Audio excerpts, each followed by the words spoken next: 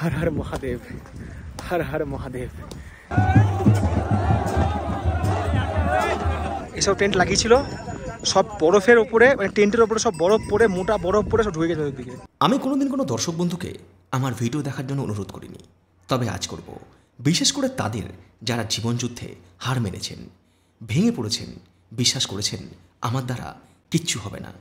কিন্তু আজকের এই ভিডিও দেখার পর নিজের প্রতি হারিয়ে যাওয়া বিশ্বাস আবারও ফিরে এসে আপনি এতটাই আত্মবিশ্বাসী হয়ে উঠবেন যে মহাদেবের আশীর্বাদে জীবনে হেরে যাওয়া বলে কোনো শব্দই হয়তো থাকবে না। জীবনের প্রতিটা যুদ্ধে আপনি হবেন শ্রেষ্ঠ যোদ্ধা। যে যুদ্ধ আমার জীবনেও এক ব্যাপক পরিবর্তন এসেছিল, যার কাউন্টডাউন শুরু হয়েছিল চব্বিশ ঘণ্টা আগে মা গঙ্গার শহর হরিদ্বার থেকে। সেই সকালে এক দারুণ সূর্যোদয়ের সাথে শুরু করেছিলাম আজকের দিনটা। আর এই নতুন দিনের শুরুতে আমরা হরিদ্বার থেকে রওনা দেবো সোনপুরের পর সময় সকাল ছটা বেজে দশ মিনিট। আমরা হোটেল থেকে চেক আউট করেছি এবং আমাদের যে গাড়ি সেই গাড়িও তার পথেই। একটু পরে এখানে পৌঁছে যাবে। গাড়ি যখন আমাদের পিক আপ করতে এলো তখন ঘড়ির কাটা সকাল সাতটার ঘর পেরিয়ে গিয়েছে যেটা আমাদের কাছে মোটেই কাঙ্ক্ষিত ছিল না। আমাদের একটু দেরি হয়ে গেছে গাড়ি আসতে। অ্যাকচুয়াল আমরা বলেছিলাম সাড়ে ছটার সময় আসতে বাট রাস্তায় জ্যাম টাইম হওয়ার কারণে গাড়ি আসতে দেরি করেছে। যেসব দর্শক বন্ধুরা আগামী দিনে হরিদ্বার থেকে সোনপ্রাগ যাবেন তাদের জন্য পরামর্শ সম্ভব হলে আপনারা ভোর পাঁচটায় রওনা দিন হরিদ্বার থেকে। সোনপ্রয়াগের পথে। সকাল আটটা আমরা এখনও ঋষিকেশ পৌঁছাতে পারিনি। ঋষিকেশ হচ্ছে এখান থেকে চোদ্দ কিলোমিটার? হরিদ্বার থেকে ঋষিকেশ যাওয়ার মাঝে রাস্তার একপাশে সত্যনারায়ণ মন্দিরে আমাদের গাড়ি দাঁড় করিয়ে কিছুক্ষণ ধরে পুজো পাঠ চলল।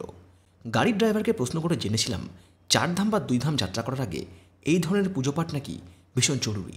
তাতে চলার পথে সমস্ত রকম বাধা অশুভ শক্তির প্রভাব কেটে যায়। গাড়ির চাকায় নারকেল এবং লেবু রাখা হয়েছে। এটা ফাটিয়ে আর কি আমাদের যাত্রা হবে কেদারের পথে। হরিদ্বার থেকে রওনা দেওয়ার কিছু পরেই বাঁ দিকে রাস্তা চলে যায় দেরাদুনের দিকে এবং সোজা রাস্তা চলে যায় ঋষিকেশের দিকে। হরিদ্বার থেকে রওনা দিয়ে ঋষিকেশ কিন্তু আমরা এখনও বেরোতে পারিনি। ঋষিকেশের আগেই জ্যাম রয়েছে। তো সকাল নটা অলরেডি বেজে গিয়েছে জানি না ঋষিকেশ কখন পার করতে পারব। পিঠে ব্যাগ কাঁধে জাতীয় পতাকা নিয়ে হেঁটে যাওয়া প্রতীককে দেখে তার গন্তব্য অনুমান করেই তাকে গাড়িতে ওঠার আহ্বান জানিয়েছিলাম। बैठ जाओ ना थैंक यू केदारनाथ निवेदन है कि आप भी थोड़ा पैदल चले और मतलब शरीर और स्वास्थ्य का ध्यान रखें বেস্ট অফ লাক वहाँ मिलेंगे এখানে হেঁটে হেঁটে যাচ্ছে তাই আমি বললাম যে গাড়িতে বসো গাড়িতে চলো বললো না কারণ এনভায়রনমেন্টটাকে ঠিক রাখার জন্য এই যে এত গাড়ি চলছে এত গাড়ি চলছে এত দূষণ হয় পলিউশন হয় এনভায়রনমেন্ট খারাপ হয় মানে ও একটা ভালো এনভায়রনমেন্টের তাকে ভালো রাখা সুস্থ বার্তা দিতে কিন্তু হেঁটে হেঁটে কেদারনাথ যাচ্ছে জলদূষণ কিংবা বায়ু দূষণের নিয়ন্ত্রণের বার্তা নিয়ে একদল প্রকৃতির প্রেমিক যখন এগিয়ে চলেছে তখন অন্যদিকে স্বল্প পোশাকে ন্যাংটো নাচ নেচে, সস্তার কন্ট্রোভার্সি করে একে অপরকে চেটে একদল মানসিক রোগী সোশ্যাল মিডিয়াতে সেলিব্রিটির আখ্যায় ভূষিত হচ্ছে। নবপ্রজন্ম মনোরঞ্জনের নামে সেগুলোই হাঁ করে গিলছে আর একই সাথে নিজেদের মূল্যবান সময় আর মূল্যবোধ দুটোই নষ্ট করছে। সকাল দশটা বেজে পনেরো মিনিট, আমরা এই মুহূর্তে পৌঁছালাম হচ্ছে বেয়াসিতে। এখানে আমাদের গাড়ির ড্রাইভার আর কি ব্রেকফাস্ট করবে, তো এখানে আমরাও ব্রেকফাস্ট করব। যদিও খিদে খুব একটা যে পাচ্ছে তা নয় এখানে আছে পরোটা রয়েছে চা রয়েছে। সুযোগ বুঝে আমিও ব্রেকফাস্ট সেরে নিলাম। তবে চা কিংবা পরোটা দিয়ে নয় সুস্বাদু তরমুজ দিয়ে। আমার সব থেকে প্রিয় ফল তরমুজ। এরপর দীর্ঘ পথ চলে গাড়ি যখন দ্বিতীয়বারের জন্য থামলো তখন আমরা পৌঁছে গিয়েছি উত্তরাখণ্ডের দেবপ্রয়াগ। এই দেবপ্রয়াগ সঙ্গমেই ভাগীরথী মিশেছে অলকানন্দার সাথে। বেলা পৌনে একটা আমরা এই মুহূর্তে পৌঁছালাম হচ্ছে শ্রীনগর উত্তরাখণ্ডের শ্রীনগর। এখান থেকে এখনও সোনপ্রয়াগ একশো আঠেরো কিলোমিটার। বিকেল চারটার আগে পৌঁছাবো বলে মনে হচ্ছে না। যাত্রাপথে আমরা তৃতীয়বার জন্য দাঁড়িয়েছিলাম শ্রীনগর এবং রুদ্রপ্রয়াগের মাঝে রাস্তার ধারেই ধারী দেবীর মন্দিরের কাছে। শ্রীনগর থেকে রুদ্রপ্রয়াগ যাওয়ার পথে রাস্তার ধারেই দেখে নিতে পারেন ধারী দেবীর মন্দির। এর আগের বার যখন গিয়েছিলাম তখন ওই মন্দিরে নেমেছিলাম ভিডিও করেছিলাম আপনাদেরকে এই মন্দিরের সঙ্গে জড়িত গল্পটা বলেছিলাম। এবার হাতে সময় কম থাকায় দূর থেকে ধারী দেবীকে সশ্রদ্ধ প্রণাম জানিয়ে আমরা রওনা দিয়েছিলাম সোনপ্রয়াগের দিকে। গুপ্তকাশীর কিছু আগেই একটা চায়ের দোকানে। চতুর্থবারের জন্য আমরা দাঁড়িয়ে পড়েছিলাম চা পানে বিরতির জন্য। সেখানেও আরও একটা নতুন অভিজ্ঞতা হলো। আমি সবসময় একটা কথা বলি যে বাঙালি ইতিহাস লিখবে বাঙালি ইতিহাস লিখবে। কথাটা যে মিথ্যে নয় তার জলজান্ত প্রমাণ এই মুহূর্তে আমার সামনে। তো এখানে দেখা হয়ে গেছে আমাদের বাঙালি ভাইয়ের সাথে। কোথা থেকে আসছো? দুর্গাপুর থেকে। কি নাম তোমার? বিজয় সিং। কতদিন হাঁটছো? সাতচল্লিশ দিন। কতদিনে পৌঁছানোর প্ল্যান আছে? পরশু দিন পৌঁছে এখন যারা আসে কেদারনাথ সবাই গাড়ি করে আসছে কেউ বাইক নিয়ে আসছে কেউ হেলিকপ্টার আসছে তুমি ভাই কেন হেঁটে আসছো? এটা কি কোনো কোনো সামাজিক বার্তা তুমি দিতে চাইছো? মানে সোশ্যাল কোনো বার্তা? হ্যাঁ সোশ্যাল এখানে লেখা আছে আমার আচ্ছা মানে- এখানে এখানে লেখা আছে ও যে ওর ব্যাগটা সাথে নিয়ে এসছে সাথে ভারতের পতাকা আছে পতাকা বুকেও আছে পতাকা এখানেও আছে আর ও যে এখানে বার্তাটা দিয়েছে দুর্গাপুর টু কেদারনাথ আঠেরোশো kilometre save water save life এই বার্তাটা সব থেকে দামি, যার জন্য একটা বাঙালি ছেলে আছে, শুধু ও নয়, রাস্তায় এর আগে আরেকজনকে আপনাদের দেখালাম, এবং অনেকেই আজকাল কিন্তু আসছে, এত পরিশ্রম করছে, এটা কিন্তু কোনো হিরোইজম নয়, হিরো হওয়ার জন্য নয়, একটা সমাজকে বার্তা দিতে যে আপনারা জল সেভ করুন, আপনারা ওয়াটার সেভ করুন, আপনারা পরিবেশটাকে ভালো রাখুন, পরিবেশটাকে নোংরা করবেন না। তাই পরিশ্রমের মধ্যে কিন্তু একটা বার্তা লুকিয়ে আছে। কেদারনাথের আশীর্বাদ ওর ওপর বর্ষিত হোক, এবং আশা করব যে কেদারনাথ পৌঁছে ওর সাথে আমার দেখা হবে। ওর জন্য আমার চ্যানেলের পক্ষ থেকে সমস্ত দর্শকদের পক্ষ- পক্ষ থেকে আগামী দিনে best of luck thank you ভাই ভালো থেকো। ভালো হয়েছো? ঠিক আছে। নিজের চোখে দেখা অনেক ছোট বড় অভিজ্ঞতাই অজান্তে চোখের কোণ ভিজিয়ে দেয়। তেমনি প্রকৃতিও কখন চুপিসারে শুরু করেছে অসময়ের বৃষ্টি। সোনপ্রয়াগ তখনও আঠাশ কিলোমিটার রাস্তা বাকি। গুপ্তকাশিতেও প্রচুর হোটেল রয়েছে। যদি আপনারা চান গুপ্তকাশিও থাকতে পারেন। হরিদ্বার থেকে যারা বাসে করে আসছেন যদি সরাসরি সোনপ্রয়াগ যদি বাস না থাকে তো আপনারা বাসে করে কিন্তু গুপ্তকাশিও আসতে পারেন, গুপ্তকাশি অব্দি বাস থাকে। আবার গুপ্তকাশি থেকে বদ্রীনাথ যাওয়ার বাসও কিন্তু পাওয়া যায়। ওয়েদার এরকম লেভেলে খারাপ হয়ে গেছে, ওই যে দূরে বরফে ঢাকা পাহাড় আর বৃষ্টি পড়ছে। আর সেই সঙ্গে লাগছে হচ্ছে ঠান্ডা। সোনপ্রয়াগ পার করে গৌরীকুণ্ড যাব, আস্তে আস্তে উপর দিকে উঠবো আরও ঠান্ডা বাড়বে। যা পোশাক আশাক নিয়ে এসেছি, আমি জানি না যে এই ট্রেকিংয়ের জন্য এবারের জন্য সাফিসিয়েন্ট কিনা। গুপ্তকাশি পার করে বৃষ্টি ভেজা প্রকৃতিকে সাথে নিয়েই আমরা পৌঁছে গেলাম ফাটাতে। এবং সেখানেই আমরা পঞ্চমবারের জন্য দাঁড়ালাম মধ্যাহ্নভোজনের জন্য। বিকাল চারটে বেজে এগারো মিনিট টিপ টিপ বৃষ্টিকে সাথে নিয়েই আমরা পৌঁছে গেছি উত্তরাখণ্ডের ফাটাতে। আর এই যে সেই সাইনবোর্ড এখান থেকে সোনপ্রয়াগ হচ্ছে তেরো, গৌরীকুণ্ড উনিশ কিলোমিটার, কেদারনাথ হচ্ছে এখান থেকে পঁয়ত্রিশ কিলোমিটার। এই সাইনবোর্ডটা কি বলব, আমার লাইফের একটা অন্যতম মাইলস্টোন। কারণ আমি যখন দু সালে প্রথম চারধাম যাত্রা করতে এসেছিলাম, তখন আমি ফাটাতে রাত্রিবাস করেছিলাম। আর আমার মনে আছে যে ভোরবেলা এখান থেকে আর কি বেরিয়েছিলাম, বেরিয়ে এটা তখন গাড়ির লাইট পরে চকচক করছিল তখন। তখন তো অত ভিড় ছিল না। আবার যখন গত বছর এসেছিলাম এখানে কেদারনাথ দর্শন করতে তখনও এই ফাটাতে এই যে রেস্টুরেন্টটা আছে হোটেল অজয় এখানেই খাওয়া দাওয়া করেছিলাম। তো আজকে আমরা লাঞ্চটা এখানেই করব। ভেজিটেবিল পোলাও এর দাম হচ্ছে এক প্লেট একশো আশি টাকা। যতটা দেয় তাতে মানে এক প্লেট ভরে দেয় তাতে দুজনের হয়ে যাবে। গতবার বা তার আগে যখন এসেছিলাম তখন স্বাদ খুব ভালো ছিল বাট এবার অতিরিক্ত ঝাল দিয়ে দিয়েছে। ফাটা থেকে সোনপ্রয়াগ যাওয়ার রাস্তাতে আরও একটা অভিজ্ঞতা প্রত্যক্ষ করলাম। গতবার যখন এসেছিলাম তখন এই রাস্তা সারার কাজ চলছিল। এক বছর পেরিয়ে গেল, এখনও রাস্তা সারার কাজ চলছে। মানে যখনই যাত্রা শুরু হয়, তখনই সারার কাজটা শুরু করে। মাঝখানে কিন্তু কিছু করে না আর। এই যাত্রা শুরু, এখন পিচ করছে, এই করছে, সেই করছে। এর ফলে কি হচ্ছে? রাস্তা শুরু, জাম হয়ে, জাম বেড়ে যাচ্ছে, সময়ও লেগে যাচ্ছে। সময় বিকাল পাঁচটা বাজে সতেরো মিনিট, আমরা এই মুহূর্তে পৌঁছে গেছি সোনপ্রয়াগে এই হচ্ছে সোনপ্রয়াগের পার্কিং বাট এখানে একটা ব্যাপার আছে। আমাদের জিএম ভিএনে বুকিং আছে। এবার জিএম ভিএনটা এখান থেকে একটু ওপরের দিকে। কিন্তু সমস্ত গাড়ি এখান থেকে আর কি ঘুরিয়ে দিচ্ছে, ওইদিকে যেতে দিচ্ছে না। এই জন্য আমি নেমে এখানকার যে অফিসার আছে তার সাথে কথা বললাম। কথা বলার পরে আমাকে দেখাতে হলো যে, আমাদের জিএম ভিএনে বুকিং আছে। তারপরে গাড়ি ছাড়লো। অ্যাকচুয়াল এই দিকটা হচ্ছে পুরো নো এন্ট্রি কিন্তু যেহেতু আমাদের জিএম ভিএনে বুকিং করা আছে ডকুমেন্টস দেখালাম, তো বলল, ঠিক আছে, তাহলে আপনাকে অ্যালাউ করছি। সোনপ্রয়াগ থেকে একটা রাস্তা চলে গিয়েছে ত্রিযুগী নারায়ণের দিকে। সেই রাস্তায় ঢুকেই কিছুটা পথ চলে রাস্তার ধারেই রয়েছে জিএমভিএন সোনপ্রয়াগ জিএমভিএন পৌঁছানোর পর সেখানকার এক কর্মীর মোবাইলে সদ্য তোলা কেদারনাথের ভিডিও দেখে মনের সংশয়টা আরও বেড়ে গেল। এখন চিন্তা হচ্ছে যে এই যে স্নোফল একটু আগে মোবাইলে দেখালাম এখানকার ওখানে একদিন পাঠিয়েছে ওখান থেকে এই লেভেলে স্নোফল হচ্ছে এরপর কালকে সকালে আমাদেরকে এখান থেকে ছাড়বে কিনা? কারণ ওয়েদার ফোরকাস্ট বলছে আগামীকাল এবং পরশু পরপর দুদিন হেভি স্নোফল এটা একটা জীবনের কঠিন মুহূর্ত আজকে এসে যে কাল যেতে পারব কি পারব না আপনাদেরকে দেখাতে পারব কি পারব না। জিএমভিএনের এই ডরমিটারি অনলাইন এবং অফলাইন দুইভাবে বুকিং হয়। অনলাইন বুকিং করার লিঙ্ক আমি ভিডিও ডিসক্রিপশন বক্সে দিয়ে দিলাম। আর অফলাইনের ক্ষেত্রে অর্থাৎ স্পটে গিয়ে বুকিং তখনই পাবেন যদি বেড অ্যাভেলেবেল থাকে। এখানে চেক ইন টাইম হচ্ছে দুপুর দুটো। তো এখানে এই হচ্ছে বেড এই হচ্ছে বালিশ আর এই হচ্ছে কম্বল।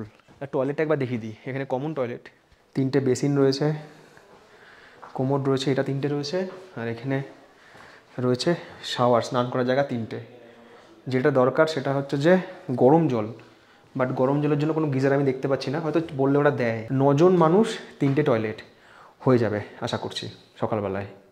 মানে পায়খানার জন্য লাইন দিতে হবে না, কোমর বেঁধে। এখানে এখন টেম্পারেচার হচ্ছে টেম্পারেচার হচ্ছে কুড়ি ডিগ্রি সেন্টিগ্রেড বাট আমার মনে হচ্ছে এটা হয়তো অ্যাকুরেট নয়, কারণ কুড়ি ডিগ্রি নয়, কুড়ি ডিগ্রির কমই হবে, না হলে এরকম জ্যাকেট পরে থাকতে পারতাম না। এখানে রয়েছে প্রচুর হোটেল যেমন জিএম ভেন রয়েছে, তেমনি কিন্তু এখানে প্রচুর হোটেলও রয়েছে, দোকানপাট প্রচুর রয়েছে, খাওয়ার জিনিস রয়েছে, কাঁচা সবজি রয়েছে সব কিছুই রয়েছে এখান থেকে কিন্তু আপনার রেনকোট নিতে পারবেন জুতে भी मिलते हैं ना भैया জুতে রেনকোট और क्या मिलता है ऊपर जाने के लिए সারি চিজে মিলতে পিঠে নামা ব্যাগ আনতে ভুলে গেছেন বা ব্যাগ নেই সাথে দেখুন এখানে কিন্তু ব্যাগও বিক্রি হচ্ছে আমি একবার দেখিয়ে দিই আপনাদেরকে এখানে দেখুন ওপরে ওঠার ব্যাগ ছাতা পার্স বা মোবাইল রাখার এরকম ক্যারিগুলো টুপি অনেকের হয়তো কোনো ইমার্জেন্সি মেডিসিনের প্রয়োজন হয় আহ, ওপরে উঠবেন তার জন্য তো তার জন্য কিন্তু এখানে দোকান রয়েছে মেডিসিন শপ রয়েছে, কেদারনাথ মেডিকেট তো এখানে কিন্তু আপনারা টুকটাক প্রয়োজনীয় দরকারি মেডিসিন বা কর্পূর টর্পুর কিন্তু এখানেই পেয়ে যাবেন।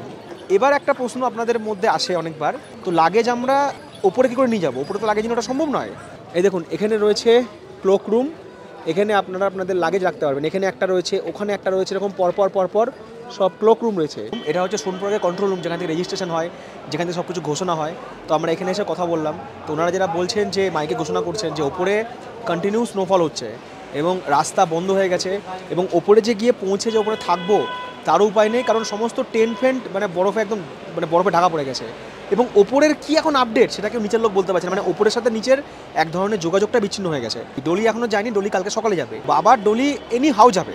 সে তুফান আসুক, আঁধি আসুক, বাবার ডলি যাবেই কালকে। বাট সাধারণ লোক কিন্তু কালকে অ্যালাউ না হতে পারে। কালকের বুকিং আমার ওপরে আছে পরশু দিনের বুকিং আমার আবার এখানে আছে। এবার কালকে এই জিএমবিএন বুকিং পাবো কি পাবো না সেটাও বুঝতে পারছি না। আমার মতো অনেকে আছে এখানে যারা প্রতি বছর ওপেনিংয়ের দিন যায়, অনেক দূর দূর থেকে ছুটে আসে, অন্য রাজ্য থেকে ছুটে আসে, সবাই যেতে চায় যে এই একটা বিশেষ মাহেন্দ্রক্ষণে বাবাকে প্রথম দর্শন করব। কারণ এটা একটা অন্যরকম ইমোশনাল অ্যাটাচমেন্ট এটা একটা অন্যরকম টান। যারা যায় তারাই জানে। তো তারাও আর কি উদ্বিগ্ন তারাও আর কি উৎকণ্ঠিত তারাও আর কি টেনশনে আছে যে কী হবে? এত টাকা খরচ করে এসেছি সবার ট্রেনের টিকিট বুক করা আছে ফিরে যাওয়ার একটা দিন আটকে থে- আটকে যাওয়া মানে তো অনেক কিছু আটকে যাওয়া। সে ভরসা তার ভরসায় এখন আমি আছি। রাত তখনও ফুরোয়নি কিন্তু রণডঙ্কা বেঁচেই গিয়েছে। আর কিছুক্ষণ পরে হয়তো ভোর আলো ফুটবে। ওদিকে কালকে সারা রাত ধরে ঘোষণা হয়েছে শুনছিলাম কানে আসছিল যে ওখানে যেতে দেবে না যেহেতু ওয়েদার প্রচুর খারাপ। কিন্তু যে বললাম, মানুষের আবেগ আর মহাদেবের প্রতি টান, এই জায়গাটাকে আটকে রাখা খুব মুশকিল। তো সবাই বেরিয়ে পড়েছে, আমিও মোটামুটি রণসজ্জায় তৈরি হচ্ছি মিশনে যাওয়ার জন্য।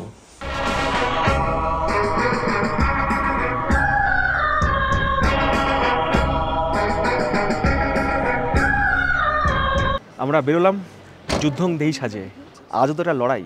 প্রকৃতির প্রতিকূলতার বিরুদ্ধে মহাদেবের কাছে পৌঁছানোর। মহাদেবের কাছে পৌঁছানোর জন্য শেষ মুহূর্ত পর্যন্ত লড়াই চালিয়ে যাব, এইটুকু আশায় রাখি। আমাদের যে লাগেজ রয়েছে, সেগুলো আমাদের গাড়িতে রেখে দিলাম। লাগেজ এখানেও রাখা যায় জিএম হেনের এখানে কিন্তু এদের এখানে কোনো ক্লোক রুম দেখলাম না। এমনি সাইডে সবাই রেখে দিচ্ছে। রেনকোট বা জ্যাকেট যা আছে, সব পিঠের এই ব্যাগে নিয়েছি। আমি জানতাম না যে এখানে এত স্নোফল হয়েছে বা বরফ আছে, তাহলে আমি স্নো জুতো পরে আসতাম বাট আমি নর্মাল একটা স্পোর্টস শু পরে এসেছি। সব কিছুই আজকে যেন প্রতিকূল, কিন্তু সেগুলোকে অনুকূল বানিয়ে আমাদের পৌঁছাতেই হবে মহাদেবের কাছে। গতকাল রাত থেকে আর বৃষ্টি হয়নি, তবে ঠান্ডা মারাত্মক লেভেলের আছে। হাত ফাত মাঝে মধ্যে কাঁপিয়ে দিচ্ছে। যদিও এইসব প্রতিকূলতা আমাদের জোশকে আমাদের ওপরে যাওয়ার ইচ্ছাকে কখনোই আটকাতে পারবে না। হার হার মহাদেব। সোনপুরাক থেকে গৌরীকুণ্ড যাওয়ার রাস্তা যথারীতি খুলে দেওয়া হয়েছে এবং প্রশাসনিক দিক থেকেও কাউকে আটকানো হচ্ছে না। পুলিশ চকিতে কিছু পুলিশ কর্মী আছেন কিন্তু তারা কিন্তু কোনো তীর্থযাত্রীকে আটকাচ্ছেন না গৌরীকুণ্ড যাওয়ার জন্য।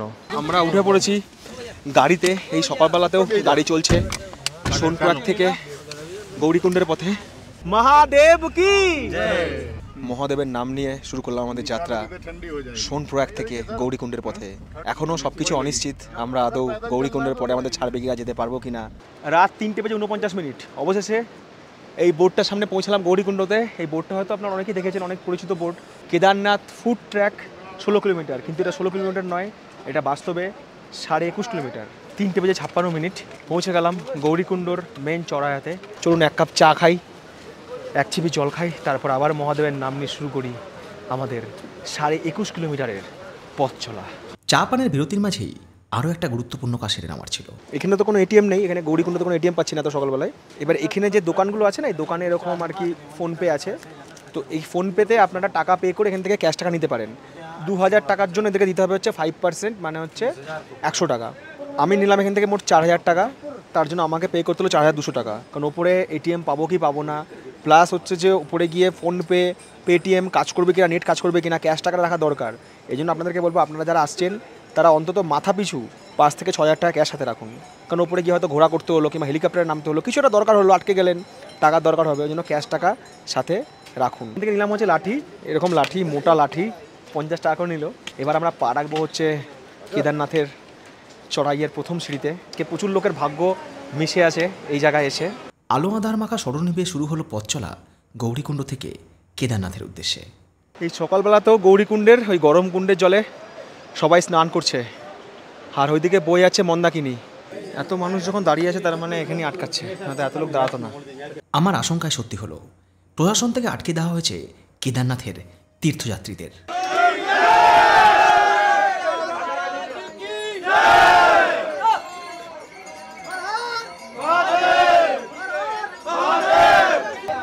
বিরাট পরিমাণ তীর্থযাত্রীদের ভিড় এখানে আটকে আছে।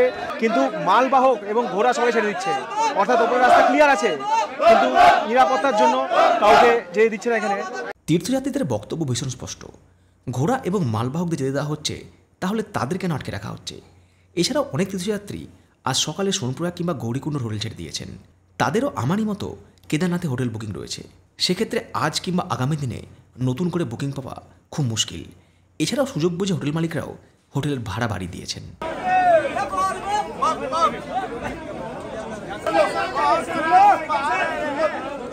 হর হর মহাদেব হর হর মহাদেব। প্রশাসনের ব্যারিকেড জনতাকে আটকে রাখতে পারেনি। জনস্রোতে তা খড়কুটোর মতোই ভেসে গিয়েছে। প্রশাসনও ব্যর্থ আজকে মানুষের আবেগের ঢলকে আটকাতে মহাদেবের কাছে যাওয়ার জন্য। রাস্তা ভিজে আছে কারণ এখানে বৃষ্টি হয়েছে সেই সাথে ঘোড়া মালপত্র মানুষ সব মিলিয়ে বিতিকিচ্ছির একটা পরিস্থিতি। বাট সব পরিস্থিতিকে জয় তো করবই। সরায় শিব নামে সরায় হর হর ভোলে শিবায়। মানুষের আবেগের কাছে মানুষের তপস্যার কাছে ভগবানকেও হার মানতে হয় হার মানতে হয় প্রকৃতিকে। শুধু ফিল করুন, শরীরে কীরকম রোমাঞ্চ হচ্ছে রোমকূপগুলো খাড়া হয়ে যাচ্ছে, দ্রুত হচ্ছে রক্ত সঞ্চালন। স্লোলি স্লোলি ধীরে ধীরে অল্প অল্প করে জল খেতে খেতে উঠতে হবে। কারণ সাড়ে একুশ কিলোমিটার রাস্তা এখন সব জোর শেষ হয়ে গেলে পরে প্রবলেম হবে।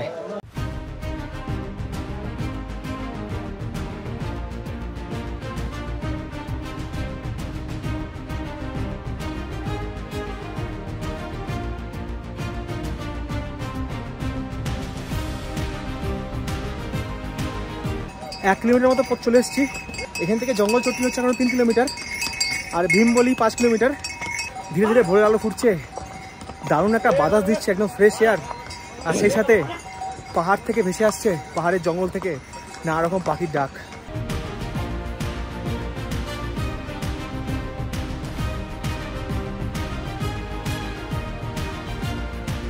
সকাল পাঁচটা বেজে একুশ মিনিট। ভোরের আলো অনেকটাই ফুটেছে। আশেপাশে যে সমস্ত দোকান, সেগুলো ধীরে ধীরে খুলছে, যেখানে চা, জল এসব বিক্রি হয়।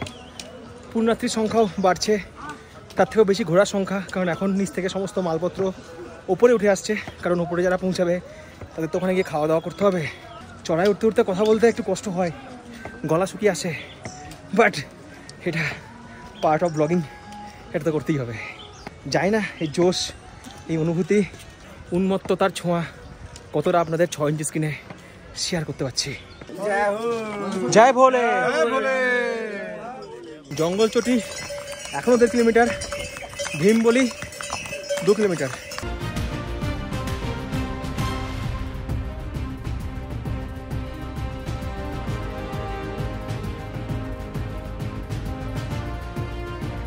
সকাল পাঁচটা বাজে পঁয়তাল্লিশ মিনিট আমরা পৌঁছালাম চিরবাসাতে। এই হচ্ছে চিরবাসা।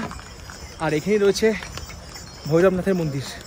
রাস্তার উপরেই পড়ে ভৈরবনাথের মন্দির। হর হর মহাদেব, হর হর মহাদেব। আমাকে অনেকে জিজ্ঞেস করে যে আপনি আমরা কথাটা কেন বলেন? আমরাটা কে? আমরা মানে হচ্ছে আমি যখন কোনো জায়গায় যাই বা যাচ্ছি, আমি সবসময় ফিল করি যে আপনারা সবাই, যারা আমার দর্শক, তারা আমার সাথে আছেন। ওই জন্যই বলি যে আমরা পৌঁছে গেছি, আমরা যাচ্ছি, আমরা করছি। সকাল পাঁচটা বেজে বাহান্ন মিনিট। মাইলস্টোন যা বলছে, এখান থেকে গৌরীকুণ্ড তিন কিলোমিটার। অর্থাৎ আমাদের নিচ থেকে এখনও অবধি পর্যন্ত তিন কিলোমিটার পথ চলা সম্পূর্ণ হলো। এখান থেকে জঙ্গলচটি আর পাঁচশো মিটার। তীর্থ নয়, এটা একটা আমাদের শরীরের পরীক্ষা যে আমরা কতটা পাচ্ছি। ভগবান উপরে আছে, ভগবান নিচে নেই, এটা নয়। ভগবান সব কিছুর মধ্যেই আছে। একটা পিঁপড়ে থেকে শুরু করে গাছের পাতার মধ্যে ভগবান আছে। প্রকৃতির মধ্যে ভগবান মিশে আছে। গৌরীকুণ্ড থেকে সাড়ে তিন কিলোমিটার পথ চলা শেষ। এই মুহূর্তে পৌঁছালাম জঙ্গল চটি। সাথে জল ক্যারি করছি। থোড়া থোড়া পানি পিতে চলো। ভোলে কি নাম লেখার আগে বাড়তে চলো। আমি যখন জলপানে ব্যস্ত ছিলাম তখন এই ছোট ছেলেটা আমার চোখের সামনে দিয়ে হেঁটে চলে গিয়েছিল। তখনও ভাবিনি এবারের কেদারনাথ যাত্রায় এসে এই ছেলেটার সাথে আমার সম্পর্ক অন্য মাত্রা নেবে। আবারও পথ চলা শুরু। রেস্ট নিলে ঠান্ডা বেশি লাগছে। এত হাওয়া দিচ্ছে না। আর ভেতরে টি শার্ট ঘেমে গেছে তো যে জড়ফে জমে যাচ্ছি আর যত উপরে উঠছি ঠান্ডা তত বাড়ছে সকালেও এত ঠান্ডা লাগছিল না এখন যে ঠান্ডা লাগছে ওই যে জটলা আছে না ওখানে একজন অজ্ঞান হয়ে পড়ে গেছে তো क्या होगा सेंसलेस हो गया ना वहाँ पे ठीक है আপ ঠিক হয় না এমনিতে হাই অল্টিটিউড নিঃশ্বাস নিতে কষ্ট হয় আর সাথে অবশ্যই কিন্তু কর্পূর রাখবেন আমি কিন্তু সাথে কর্পূর রেখেছি যখনই মনে হবে একটু শ্বাসের প্রবলেম হচ্ছে শ্বাস নিতে কষ্ট হচ্ছে তখনই কর্পূর একটু নিয়ে নিন টানুন বসুন রেস্ট করুন তারপরে চলুন কোনো তাড়াহুড়ো নেই পৌঁছানোর সারা দিন পড়ে আছে সারা রাত পড়ে আছে। বিকালে গিয়ে পৌঁছান কেদারনাথ পালিয়ে যাচ্ছে না। বাট যেন এই জার্নিটাকে এনজয় করুন কোনো কম্পিটিশন নয় এটা। অভ্যাস যাদের নেই না? এই যে আমিও দীর্ঘদিন ধরে হাঁটি না হাঁটা চলা করা হয় না ব্যায়ামেও যাওয়া হয় না আমারও হাঁটতে হাঁটতে এই যে কাপ মাসেলগুলো সব ব্যথা করছে মনে হচ্ছে মাসেলগুলো সব কামড়ে কামড়ে ধরছে বাট তবুও হাঁটছি। বাঁধার মুখে আমাকে পড়তে হয়েছিল আর এই বাধা ছিল আমার জীবনে অন্যতম শিক্ষা। পুরো পাগুলো যেন মাথাগুলো কামড়ে কামড়ে ধরছে পায়ে একটা স্টেপও আর ফেলতে পারছি না। হাঁটা অভ্যাস নেই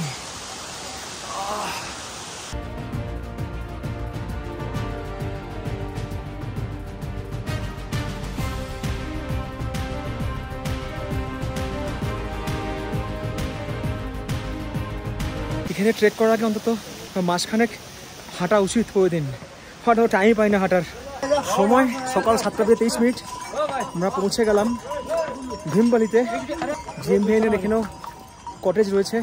পায়ে প্রচণ্ড যন্ত্রণা হচ্ছে পা ফেলতেই পারছি না।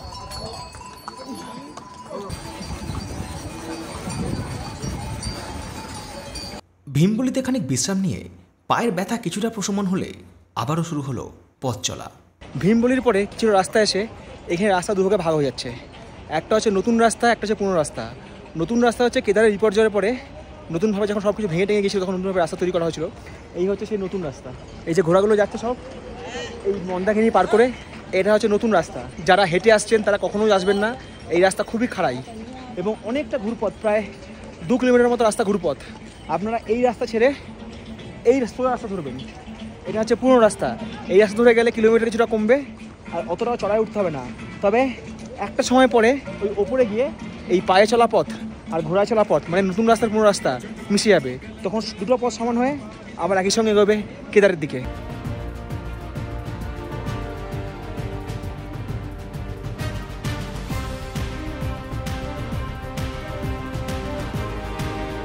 পৌঁছে গেছি রামবাড়াতে। কেদারনাথে যখন বিপর্যয় হয়েছিল, তখন সবচেয়ে বেশি ক্ষতিগ্রস্ত ওই জায়গায় হয়েছিল। আর এই যে বয়ে সে মন্দাকিনী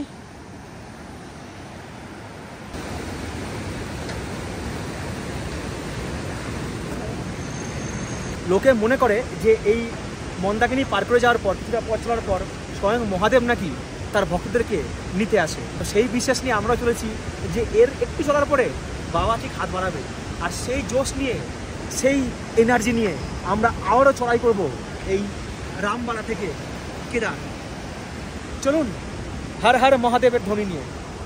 ওই রকম জায়গা থেকে উঠে এলাম। এই ব্রিজ পার করে এই দিক দিয়ে এইদিকে সকাল সাতটা বেজে চুয়ান্ন মিনিট, রামবাড়া পার করে এসছি। এরপর রাস্তা পুরোটাই চড়াই। এই জায়গায় এসে এই পুরনো রাস্তা আর ওই যে নতুন রাস্তা মিশে গেল। এবার দুটো রাস্তা এক হয়ে চলবে কেদারের পথে। আর এখান থেকে কেদারনাথ হচ্ছে সাড়ে আট কিলোমিটার। বেস ক্যাম্প ছয় দশমিক পাঁচ কিলোমিটার। বড় লিঞ্চলি তিন কিলোমিটার। ছোটো লিঞ্চলি এক কিলোমিটার। कहाँ से आए हो तुम कहाँ घर है तुम्हारा बनारस में तो विश्वनाथ से केदारनाथ आए हो कितने उम्र है तुम्हारा পাঁচ সাল পাঁচ বছরেরও কম বয়স এই বাচ্চাটার দেখুন কত কিউট ওকে একবার বলতে শুনলাম পতাকা নিয়ে বলছে জয় শ্রীরাম আমি তখনই ওকে নোটিস করি রাস্তায় ও তখন থেকে হেঁটে হেঁটে আমরা যেখান থেকে উঠে আসছি ওর বাবার সাথে তখন থেকে হেঁটে উঠে চলে আসছে হাত তো ছুঁয়ে নি হাত মিলা মেরে সে ব্যাস এই रहेगा এই হাতটা ছুঁয়েই শান্তি। হ্যাঁ। পঞ্চাশ টাকা হচ্ছে ম্যাগি। রেট যা ছিল তাই আছে। জাস্ট পেটটা ভরানোর জন্য। কারণ খালি পেটে তো চলা যায় না আর খালি পেটে থাকা উচিত নয়। আর গরম গরম ম্যাগি খেলে এনার্জিটা পাশে বেটা ম্যাগি কেসা হে? আচ্ছা হে।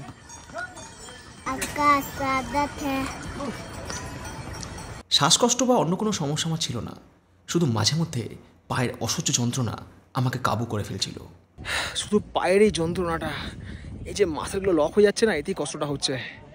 বাকি কোনো প্রবলেম হচ্ছে না। তখন না পাড় ফেলা যাচ্ছে না মনে হচ্ছে এক পা ফেলতে পারব না। হে মহাদেব ঠিক করে দাও সব কিছু প্লিজ শক্তি দাও।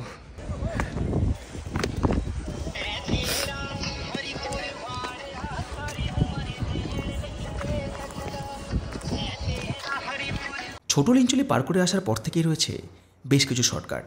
এতে কিছু দূরত্ব কম হয় ঠিকই, তবে এই শর্টকাট ধরে উপরে ওঠাও কম ঝুঁকিপূর্ণ নয়। রাস্তা না হলে এইভাবে ঘুরে আসবে বাট এইগুলো হচ্ছে সব শর্টকাট। শর্টকাটে উঠতে একটু কষ্ট হবে প্রবলেম হলে না ওঠাই ভালো বাট যদি মনে হয় যে কনফিডেন্স পান যে না পারব তবেই উঠুন। কারণ পুরো মাটির রাস্তা তো স্কিট করার চান্স থাকে। ভালো জুতো না হলে স্কিট করে যেতে পারে, পা। এখান থেকে গৌরীকুণ্ড হচ্ছে ন কিলোমিটার। অর্থাৎ আমরা প্রায় পাঁচ ঘন্টায় আমরা এলাম ন কিলোমিটার পথ।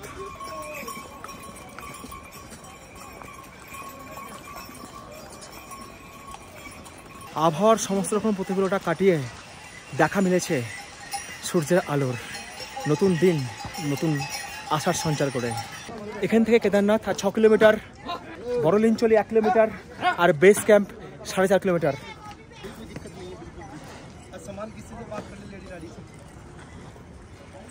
জীবনে প্রেমের অভাব হলেও হতে পারে, কিন্তু কখনো যেন পানির অভাব না হয়। এখানে এরকম বোতল লিমকার বোতল, ছোটো ছোটো বোতল, যেগুলো নিচে কুড়ি টাকা, ওপরে হচ্ছে পঞ্চাশ টাকা।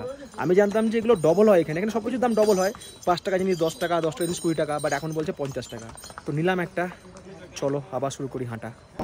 এখানে ঘোড়া অসুস্থ হয়ে পড়েছে। ভাইয়া, কে উসকো টাং টুট গে কষ্ট এখানে মারাত্মক। মানুষও এরকম বড় বড় বোঝা নিয়ে ওঠে। ঘোড়াও, ঘোড়ার পিঠেও বড় বড় মাল চাপিয়ে তোলা হয়। মানে মানুষের ওজন যা, একটা মানুষের ওজন ধরুন সত্তর কিলো, ঘোড়ার পিঠে ধরুন মাল চাপায় প্রায় একশো কিলো বা তার বেশি। সেই নিয়ে ওঠা সত্যি সবার কষ্ট এখানে, সবার কষ্ট। আসলে মানুষ এগুলো করে পেটের দায়ে, যারা ধরুন ঘোড়া চালায়, তাদেরও তো ছটা মাস তো এখানে বন্ধ থাকে। এবার এই ছটা মাস বন্ধ, তাদেরও রুজি রোজগার এই ছ মাস তারা ইনকাম করে বাকি ছ মাস বসে খায়। কিন্তু পশু হোক, মানুষ হোক, সবার সত্যি ভীষণ কষ্ট। এতটা পথ চলে আসার পরে প্রথম দেখা পেলাম বরফের।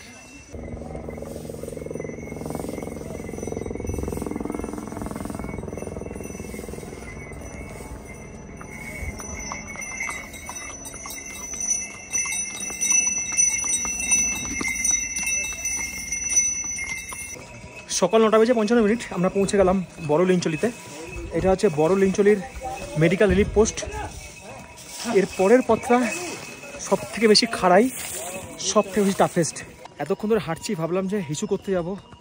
রাস্তাঘাটে তো হিসু করা যায় না। আর কতক্ষণ আটকে রাখব? প্রত্যেকটা টয়লেটে এত এত হেগে রেখে দিয়েছে। মনে হচ্ছে এক মাসের হাগা হেগেছে মানে ঢুকেই অন্য পাশে ভাদ্র চলে আসবে। পায়ে ব্যথার থেকেও কষ্টকর হিসু চেপে রাখা। ওইখানে পৌঁছাতে হবে, ওইখানে। তারপর থেকে রাস্তা সমান। আর আমি এখন সুলভ শৌচালয়ের সামনেই পড়ে আছি। পথ এখন অনেক বাকি। কি ভাবছেন? পৌঁছে গেছি? এতই সহজ? এখন এইখান দিয়ে ঘুরে ঘুরে ঘুরে ঘুরে ওইখান দিয়ে গিয়ে গ্লেশিয়ার পার করে ওই ওপরে উঠতে হবে। সময় সকাল পৌনে এগারোটা। এখনও কেদারনাথের সাথে আমাদের দূরত্ব চার কিলোমিটার। বেস ক্যাম্প এখনও দু কিলোমিটার। এইখান থেকে শর্টকাট নেব। যদিও ব্যাপারটা সহজ নয় বাট রাস্তা অনেকটা শর্ট হবে। শুধু একবার দেখুন রাস্তাটা।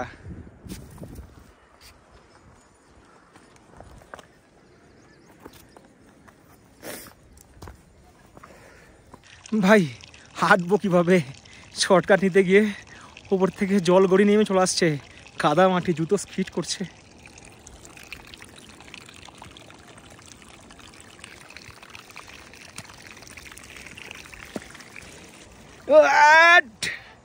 হর হর মহাদেব।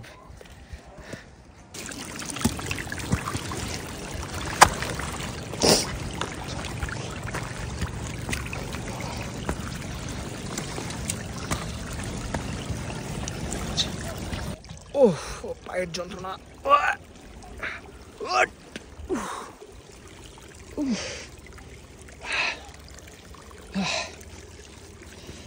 দুপা হাঁটছি পালক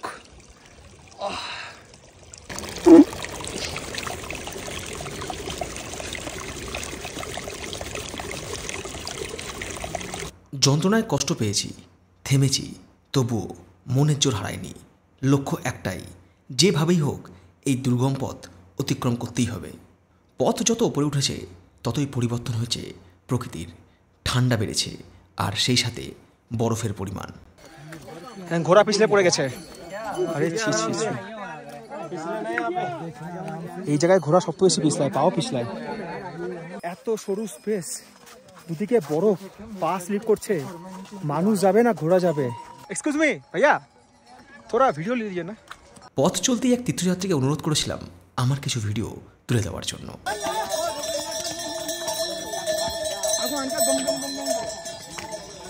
এই রাস্তাটা পুরোটাই বরফে ঢাকা ছিল। এই বরফ কেটে পুণ্যার্থীদের যাওয়ার জন্য রাস্তা বানিয়েছে আলটিমেট পরে, পুরো বরফে ঢাকা ছিল। রাস্তাটা।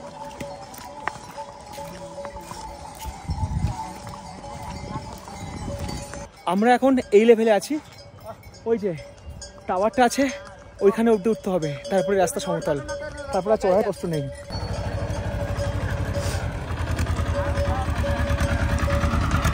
বরফ বা রাস্তা পিছল সেটা ম্যাটার নয়। এর থেকেও একটা বড় ম্যাটার হচ্ছে মাঝে মধ্যেই উপর থেকে পাথর গড়িয়ে পড়ছে। এখানে যে সমস্ত কর্মীরা আছে তারা বলছে যে এইসব জায়গায় দাঁড়াবেন না এগিয়ে চলুন। এইসব জায়গা ঝুঁকিপূর্ণ।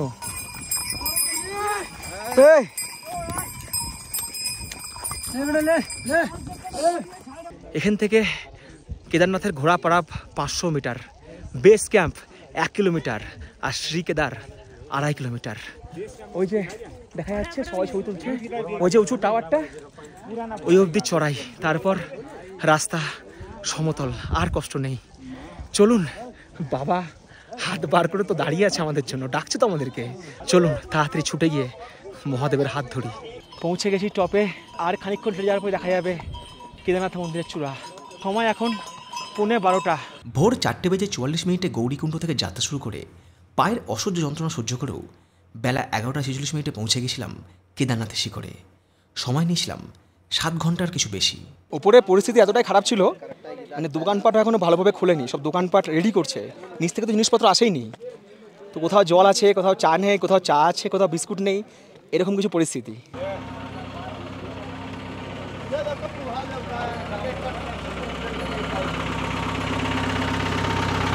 এসব টেন্ট লাগিয়েছিল।